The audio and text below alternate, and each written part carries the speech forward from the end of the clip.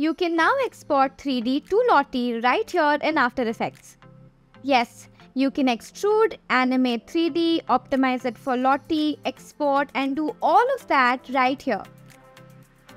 All you need is this plugin by IVG Designs called the Extrudalizer. Now let's dive in and see how it works.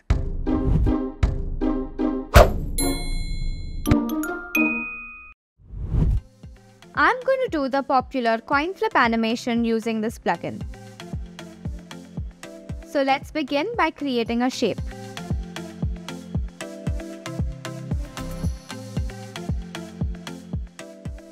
And ensure that this layer is converted to a Bezier path layer.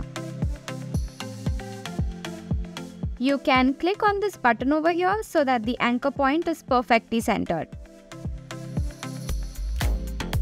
Before we proceed to converting this into 3D, I'm quickly going to add in a simple animation.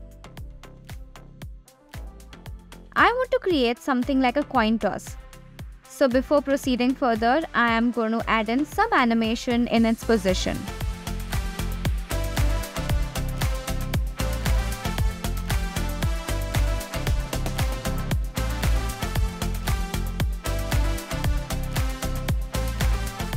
Now it's time to get to the fun part. From here, you can now choose solid or gradient fills for both front and back of your shape. Similarly, over here, you can apply solid or gradient fills to the sides as well. This option over here will determine the number of subdivisions. For this tutorial, I think I'm going to stick to the solid fill option. Once you've made your choices, simply hit the Extrudalize button. And that's it. You may not see any changes right now, but don't worry, you will in just a bit. Let's now add in some animation to flip our coin.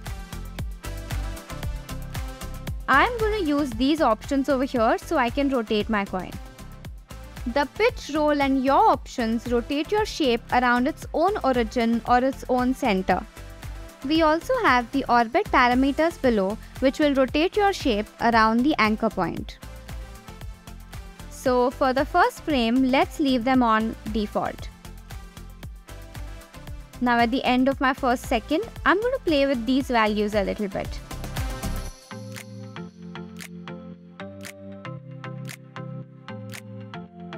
Awesome, I think it's looking pretty promising already.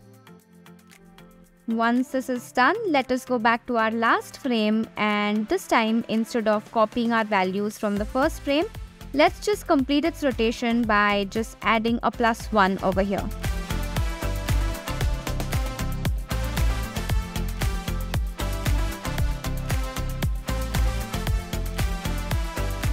In my animation, I can see a red dot over here. This is the anchor point. In order to hide it, just check this box right here.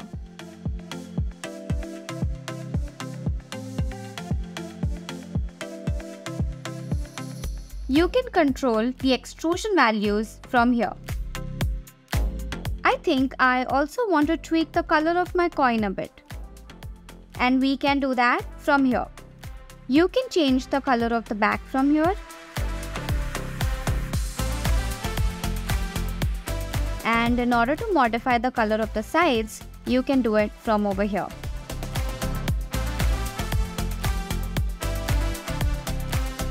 Once you're satisfied with your design, it's now time to optimize your Lottie. By clicking on this Optimize Lottie button, it is going to remove whatever is not required in the animation.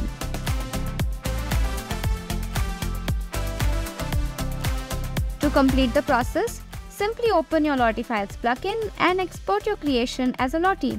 It's as simple as that. And just like that, you have successfully created a 3D animation in After Effects and exported it, it to a Lottie. The possibilities with this are endless. So let your imagination run wild and have fun.